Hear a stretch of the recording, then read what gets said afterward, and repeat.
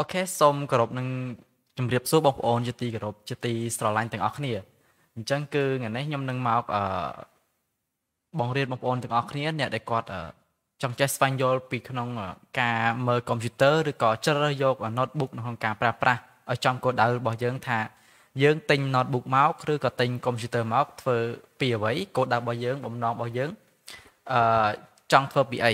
អញ្ចឹងគឺថ្ងៃហ្នឹងខ្ញុំនឹងលើកយក notebook ទាំងពីរប្រភេទទី1ប្រភេទធ្វើការឯកសារប្រភេទខ្ញុំរួមជាមួយគ្នាទី1គឺយើង notebook ប្រភេទហ្នឹងគឺអាចធ្វើការឯកសារឬក៏រៀនឬក៏រៀនឬក៏យកទៅធ្វើការបែបរត់វាឯកសារធ្វើ Microsoft Word អីអញ្ចឹងទៅដែលវាមិនពាក់ព័ន្ធជាមួយនឹងការលេងហ្គេមជាមួយនឹង graphic design អញ្ចឹងមកប្រភេទទៀតនោះគឺប្រភេទ gaming គឺប្រភេទ gaming ហ្នឹងគឺយើងលើកឡើងទាំងអស់គឺអាចយកទៅ graphic design បានយកទៅកាត់តវីដេអូបានយកទៅលេង game stream game បានអញ្ចឹងគឺ notebook ប្រភេទហ្នឹងគឺវាមាន processor ឬក៏មាន ខាងក្នុងហ្នឹងគឺវាខុសគ្នា notebook នីមួយនីមួយវាតែងតែមានតម្លៃខុសគ្នាអញ្ចឹងបើសិនជាបងប្អូនទិញមកឲ្យត្រូវដឹងឲ្យចំថាយើងទិញមកគោលដៅរបស់យើងធ្វើអីហើយប្រើវានៅមុខងារអ្វីខ្លះ អញ្ចឹងមិនមែនទិញយក notebook ធ្វើការឬក៏ notebook ប្រភេទរៀនសូត្រហើយស្រាប់តែចង់លេង game នឹងគឺលេងអត់កើតទេអញ្ចឹង notebook របស់វាវាមានទូនាទីរបស់វាវាមាន space របស់វាសម្រាប់នៅក្នុងការធ្វើការអញ្ចឹងគឺថ្ងៃនេះខ្ញុំនឹងមកបញ្យល់បងប្អូនទាំងអស់គ្នានិងជួយឲ្យបងប្អូនទាំងអស់គ្នាចេះ check មើលនៅលើ notebook ទាំងអស់ថាយើងគួរទិញប្រភេទណាឲ្យចំគោលដៅរបស់យើង បាទអញ្ចឹងគឺយើងដឹងស្រាប់ហើយ notebook បើសិនជាប្រភេទ gaming ឬក៏លេង game វាតែងតែមានតម្លៃខ្ពស់ជាងប្រភេទធ្វើការធ្វើការប្រភេទយមរៀនអីហ្នឹងគឺ notebook ប្រភេទហ្នឹងគឺវាមានតម្លៃទាបជាងប្រភេទ gaming អូខេអញ្ចឹងខ្ញុំនឹងបង្រៀនបងប្អូនទាំងអស់គ្នានៅក្នុងកុំព្យូទ័ររបស់ខ្ញុំចាំខ្ញុំចូលទៅក្នុង screen ខ្ញុំនិយាយពីពីព្រោះសារតែខ្លាចវាអត់សូវឮតាម microphone អូខេអញ្ចឹងយើងចូលទៅមើល screen ទាំងអស់គ្នាអូខេអញ្ចឹងគឺនេះនៅក្នុង screen របស់កុំព្យូទ័ររបស់ខ្ញុំ អញ្ចឹងខ្ញុំនឹងមកបង្ហាញបងប្អូនទាំងអស់គ្នានៅចំនួន2 model ដែលជាប្រភេទ notebook ទាំងប្រភេទលេងហ្គេមទាំងប្រភេទធ្វើការអញ្ចឹងដើម្បីឲ្យយើងជ្រើសរើសឬក៏ទិញ notebook មិនចាំបាច់ទៅសួរគេមិនចាំបាច់ជួលគេទៅអឺជួយរើសឲ្យអញ្ចឹងយើងអាចមើលខ្លួនឯងបាន យើងអាចឆែកនៅក្នុងប្រព័ន្ធអ៊ីនធឺណិតបានរហូតព្រោះសារតែ notebook នីមួយៗមួយម៉ាកមួយ model វាតែងតែមានលេខរៀងតែងតែមានឈ្មោះតែងតែមាន model របស់វាអញ្ចឹងយើង check មើលទៅហើយយើងអាចនឹងឃើញឧបករណ៍ទាំងអស់នោះអញ្ចឹងបើសិនជាបងប្អូនខ្លះគាត់អត់ទាន់ស្គាល់ទេថានឹងគឺជាអីអីគេទៅគឺជា CPU ស្អីគេគឺជា RAM ស្អីគេគឺជា hard disk ស្អីគឺជា graphic អីចឹងទៅយើងអត់ទាន់ដឹងទេអញ្ចឹងអាហ្នឹងខ្ញុំនឹងមកបញ្យល់នីមួយនីមួយរវាង notebook gaming ជាមួយនឹង notebook ធ្វើការអូ អូខេឥឡូវខ្ញុំសូមបើកទៅលើ browser អញ្ចឹងគឺខ្ញុំកំពុងតែស្វែងរកទិញទៅលើ notebook ប្រភេទលេង game អញ្ចឹងខ្ញុំនិយាយចំពោះ notebook លេង game សិនដែលភាគច្រើនគាត់តែងតែចង់ប្រើទៅលើការលេង game ជាមួយនឹងកាត់តវីដេអូឬកាត់តរូបភាព graphic design ហ្នឹងអញ្ចឹងខ្ញុំបានឃើញទៅលើ notebook មួយប្រភេទរបស់ MSI ណាដែលវាមានលេខរៀង GF75 បាទ Thin 10UE បាទអញ្ចឹងគឺ notebook ហ្នឹងយើងអាចធ្វើការ copy ឈ្មោះវានេះឬក៏បងប្អូន search ទៅលើ model ឈ្មោះអីចឹងទៅដើម្បីយើងឲ្យដឹងថាដល់ពេលដែលយើងទិញគឺវានឹងមាន model អីបាទអញ្ចឹង MSI អញ្ចឹងរាល់ notebook គឺវាមាននៅលើ social media ទាំងអស់ណានេះគឺឈ្មោះរបស់វាយើងវាយតែអញ្ចឹងមកអឺសម្រាប់ខ្ញុំនៅថៃអញ្ចឹងខ្ញុំត្រូវការ notebook ហ្នឹងនៅប្រទេសថៃបាទអញ្ចឹងនេះខ្ញុំសូមចែករំលែកបទពិសោធន៍របស់ខ្ញុំថា នៅពេលដែលខ្ញុំរើសយកកុំព្យូទ័រតើខ្ញុំមើលអ្វីជាគោលណាតើខ្ញុំមើលអ្វីជាគោលបាទអញ្ចឹងគឺទី1ខ្ញុំមើលទៅលើ CPU ថាតើ CPU ដែលខ្ញុំយកនេះវាត្រូវចំជាមួយនឹងការដែលខ្ញុំប្រើប្រាស់អត់ទីមួយគឺខ្ញុំប្រើទៅលើកាត់តលេងហ្គេមអញ្ចឹងខ្ញុំត្រូវការវា rendering ខ្ពស់អញ្ចឹងខ្ញុំអាចយកជា CPU ប្រភេទ seri រៀងថ្មីដូចជា Core i7 អានេះគឺ Core i5 បាទ Core i5 ហ្នឹង អញ្ចឹងគឺ CPU វាមានតាមលំដាប់របស់វាវាមានតាំងពី Core i 3 Core i5 និង Core i7 ហើយក្នុង CPU មួយវាតែងតែមានចំនួនរបស់វាអញ្ចឹងគឺកន្លែងនេះខ្ញុំអត់បានបង្រៀនទេបើសិនជាខ្ញុំបង្រៀនវីដេអូនឹងកាន់តែវែងឆ្ងាយអញ្ចឹងបងប្អូនអាចធ្វើការសិក្សាខ្លួនឯងបន្ថែមទៅលើវីដេអូបងប្អូនយើងដែលគាត់បានបញ្យល់ទៅលើ CPU ពីមួយចំនួនហើយពីមួយ model ទៅមួយ model ចឹងទៅអញ្ចឹង CPU គឺវាមានពីរប្រភេទទី1គឺប្រភេទ AMD ជាមួយនឹង Nvidia អេជាមួយ Nvidia ជាមួយនឹង Intel បាទអញ្ចឹងអ្វីដែលខ្ញុំចូលចិត្តប្រើជាងគេគឺខ្ញុំប្រើទៅលើ Intel ណាគឺខ្ញុំប្រើទៅលើ Intel អាហ្នឹងខ្ញុំចូលចិត្តជាងគេអញ្ចឹងគឺយ៉ា notebook នេះគឺវាមានតម្លៃអឺ27000អឺ27000បាត27000 990បាតអញ្ចឹងយើងចែកជាមួយនឹង34មកគឺវាឃើញ800ដុល្លារ អញ្ចឹងវាវាដល់1000ដុល្លារទេអញ្ចឹងគឺ notebook នេះវាមានអឺ CPU ណាគឺខ្ញុំមើលខ្លាំងជាងគេគឺទី1គឺ CPU ប្រភេទចំនួនទី10បាទអញ្ចឹងគឺយើងអាចមើលក្បាលខាងមុខបានអញ្ចឹងគឺចំនួនទី10គឺវាចំនួនយើងថ្មីដែរប៉ុន្តែឥឡូវគឺវាចេញដល់ចំនួនទី12ហើយ1200ហើយណា1200សេរីហើយអញ្ចឹងគឺចំនួនទី10ដែលវាមានកតុយ H អញ្ចឹងប្រភេទ Core i5 អញ្ចឹងខ្ញុំអត់ត្រូវការទេសម្រាប់ notebook មួយនេះព្រោះសារតែវា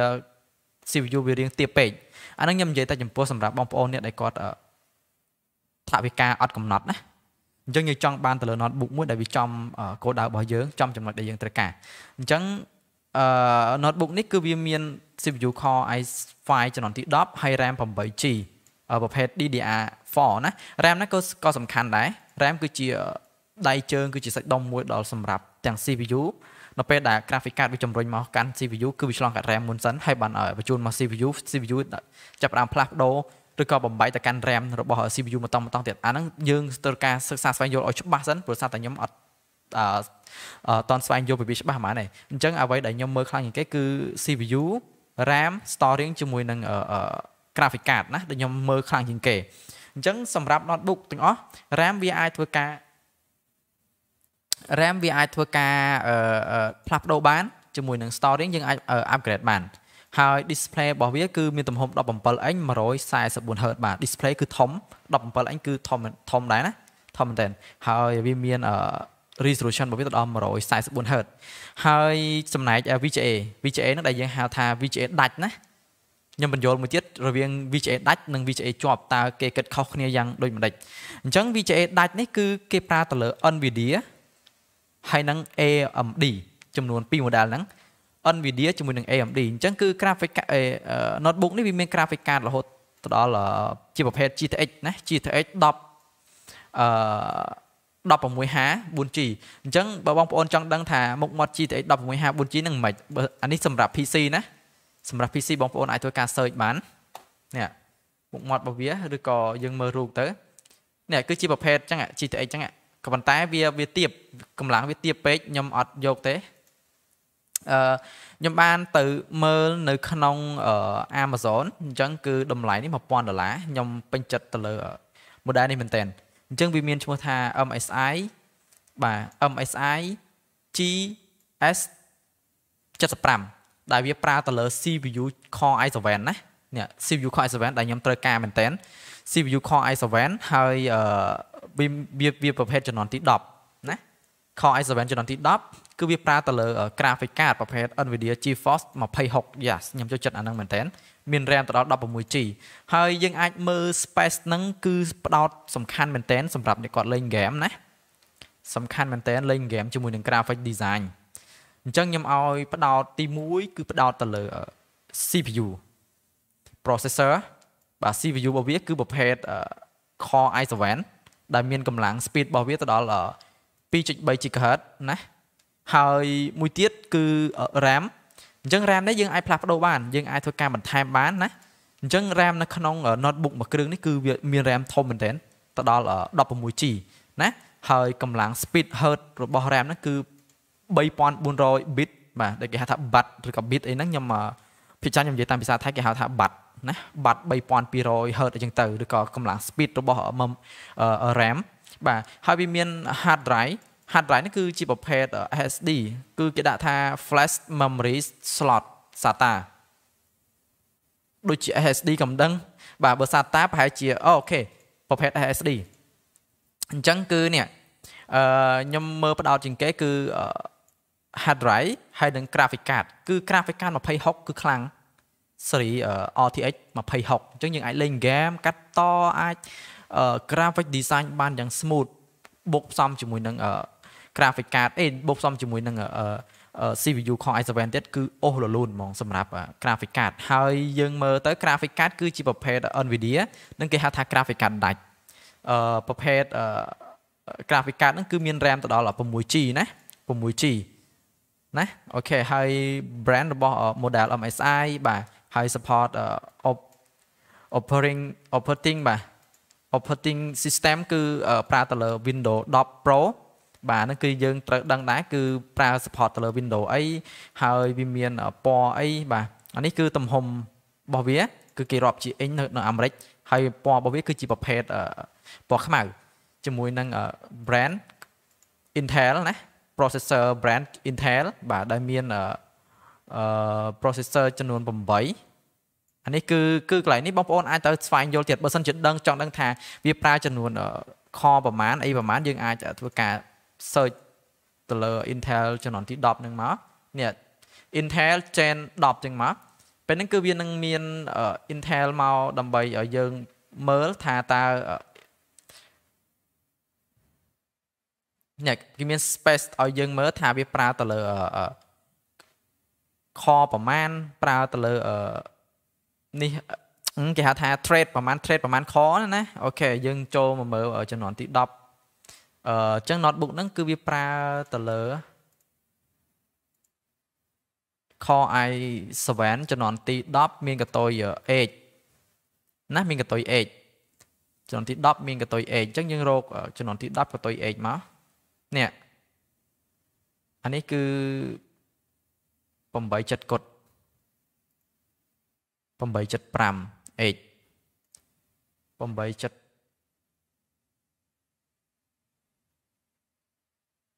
875 h អញ្ចឹងយើងចុច click មកដើម្បីមើលទៅលើ process ដើម្បីទៅមើលទៅលើទំហំរបស់ graph អីរបស់ CPU ទៀតអញ្ចឹង CPU គឺវាមានទំហំរបស់វាវាមានកម្លាំងរបស់វាហើយបើសិនជា CPU នេះនៅលើ notebook ទាំង notebook ទាំង PC យើងគឺយើងអាចដោះបានក៏ប៉ុន្តែ notebook មួយចំនួនអាចដោះបានទេអញ្ចឹងគឺខ្ញុំមាន CPU notebook មួយដែលខ្ញុំអាចដោះចេញមកបានគឺយើងអាចដូរបានណាសម្រាប់ notebook មួយចំនួនវាអាចដូរបានអញ្ចឹងយើងមើលកន្លែងហ្នឹងទៅគឺវាជាប្រភេទ graphic អីប្រភេទខ្ញុំច្រឡំនិយាយតែ graphic ចឹងណាប្រភេទ CPU ចំនួនទី10 Core i7 ហើយវាមាន core ចំនួន6បាទវាមាន thread គឺចំនួន12 thread បាទហើយ mic turbo អញ្ចឹងគឺវាអាចធ្វើការ overclock បានទៅដល់5 GHz ណា turbo boost technology បាទគឺ4.8 GHz អានេះ processor ដែលចេញពីរោងចក្រមកគឺ 2. 60 GHz បាទអញ្ចឹងវាមានខាច់ទៅដល់12មេបាទវ៉ាវខ្លាំងមែនទែនខាច់12មេគឺសេរីហ្នឹងគឺអែមមែនទែនអញ្ចឹងអាហ្នឹងគឺយើងត្រូវចេះមើលអញ្ចឹងទៀតថាហើយវាមានតម្លៃបើសិនជាយើងទិញត្រឹមតែ CPU មួយគ្រាប់ទេណា 395ដុល្លារណា CPU តែមួយគ្រាប់ឯងអញ្ចឹងគឺតែបងប្អូនតែឃើញថាហេតុអីនៅពេលដែលគេប្រគំគេរៀបកុំព្យូទ័រមួយគ្រឿងគ្រឿងតែងតែមានតម្លៃថ្លៃសម្រាប់ graphic card gaming ទាំង CPU សម្រាប់ភាព gaming ទាំងវាតែងតែមានតម្លៃថ្លៃអូខេអញ្ចឹងគឺយើងបានដឹងណានៅក្នុងការ check មើលទៅលើ model ឬក៏ check មើលទៅលើ processor ទាំងអស់ណាថា graphic card នឹងគឺជាអីបាទ graphic card នឹងគឺសម្រាប់ render game render ទៅលើអឺអឺ graphic design គឺវា run ទៅលើ graphic card ច្រើនមែនទែនបើសិនជា graphic card យើងប្រភេទទៀបនៅពេលដែលវា run 3D មកគឺ lag គឺតាក់ហ្មងណាគឺតាក់ហ្មងគឺអានេះវាវាផ្ដោតទៅលើ graphic card ខ្ពស់នៅក្នុងការ graphic design ឬក៏កាត់តវីដេអូឬក៏លេង game ណាគឺសំខាន់លើ graphic card បាទអញ្ចឹងគឺ graphic card យើងអាច search មកបានជាប្រភេទ Nvidia GeForce 2060ណាបើសិនជា graphic card នៅខាងក្រៅគឺប្រភេទនេះណាប៉ុន្តែបើសម្រាប់ notebook ណាខ្ញុំវាយថា for notebook ភាគច្រើនគឺ notebook គេអត់ដែលបង្ហាញទេគឺវានៅក្នុងនឹងហ្មងនេះគឺ notebook គឺប្រភេទអញ្ចឹងណា notebook គឺប្រភេទអញ្ចឹងណា គឺអត់អាចដោះបានទេអានេះគឺប្រភេទ notebook អានេះគឺប្រភេទរបស់អឺដែលយើងយកមកដាក់ទៅលើ PC យើងខាងក្រៅណាដែលគេហៅថា VGA card graphic card GPU អញ្ចឹងទៅអញ្ចឹងគឺនៅក្នុង notebook គឺវាជាប់អញ្ចឹងហ្មងណាគឺវាវាជាប់អញ្ចឹងអាហ្នឹងគឺគេហៅថា graphic card ដាច់អឺចំណែក graphic card ជាប់នោះគឺវានៅក្នុង CPU តែម្ដងគឺ graphic card ហ្នឹងគឺនៅក្នុង CPU គេហៅថា graphic card ជាប់អញ្ចឹងគឺ graphic card ដាច់នេះគឺប្រភេទដែលវាមាន graphic card ដោយ light CPU ដោយ light អញ្ចឹងគឺទាំងពីរហ្នឹងមិនមែននៅក្នុងរួមគ្នាតែមួយគឺហៅថា graphic card ដាច់បាទអូខេអញ្ចឹងសង្ឃឹមថាបងប្អូនយល់បានខ្លះខ្ញុំបរៀនរឿងទូទ្រោះឲ្យលឿនបន្តិចហើយយើងអាចសិក្សាបន្ថែមទៀតសម្រាប់អ្នកដែលគាត់ចង់ចេះទៀតយើងអាចសិក្សាបន្ថែមឬក៏អាចសួរខ្ញុំបានបើសិនជាចង់ទិញ notebook អីអាចប្រឹក្សាជាមួយខ្ញុំបាទបានអូខេអឺឥឡូវខ្ញុំអឺ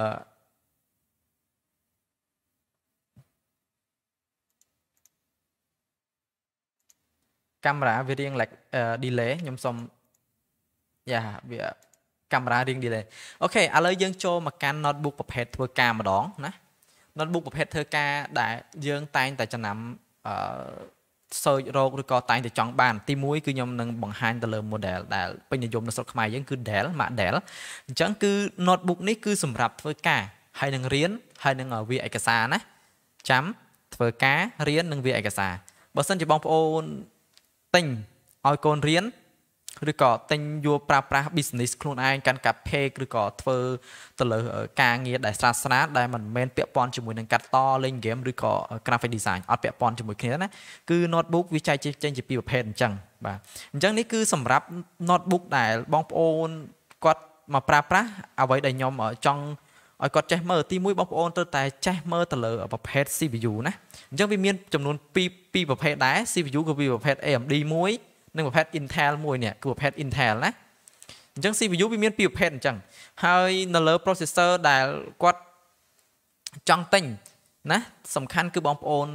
ទិញទីមួយគឺមើលទឹកលុយរបស់យើងថាយើងអាចអូសអូសរួចទៅដល់ CPU ចំនួនទីប៉ុន្មានគឺសំខាន់មែនទែនទៅលើ CPU អញ្ចឹង CPU រត់តែធំយើងវាយឯកសារឬក៏ធ្វើការអីចឹងទៅវាតែងតែលឿនរហ័សតន់ចិត្តអីចឹងទៅណា